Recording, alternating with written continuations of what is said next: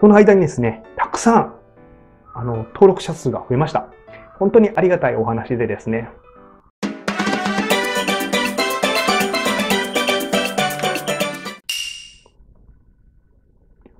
おはようございます。関野康弘です。本日も名言を取り上げていきます。本日の名言はですね、沢田秀夫さん。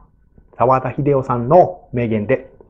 たとえ悪くてもいいぞ、いいぞと考え、口にしているとだんだん良くなっていく。そういう力を人間は持っています。その力を信じることです。ということでですね、えー、沢田秀夫さん。まあ、有名な方ですけれども、プロフィールをお伝えしていきたいと思います。沢田秀夫さんは、大阪府出身。大阪一律、えー、生野工業高等学校卒業後、旧西ドイツ、えー、マインツ大学に留学。帰国後、1980年に旅行会社インターナショナルツアーズを設立。1990年に社名を HIS に変更。1995年3月、株式店頭公開。1998年には国内第4番目の航空会社スカイマークエアラインズを就航させ、社会的な話題となる2010年ハウステンボス株式会社社長に就任し、再生事業に着手したということでですね。まあ、HIS の社長さんということで、まあ、社長さんというか創業者ですよね。で、有名ですけれども、本当にね、まあ私もね、実はこの動画撮影1週間、ちょっと体調不良がありましてですね、えー、できなかったんですけれども、本当に悪い時でもですね、体調不良の時でも、いいぞいいぞと、まあ自分も体調はいいと思ってやっておりました。口にしてね、えー、まあ体はいいんだ、大丈夫だと、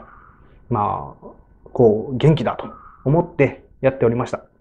そういうね、力を信じて、まあ今日またね、こうやって笑顔で放送ができますし、その間にですね、たくさん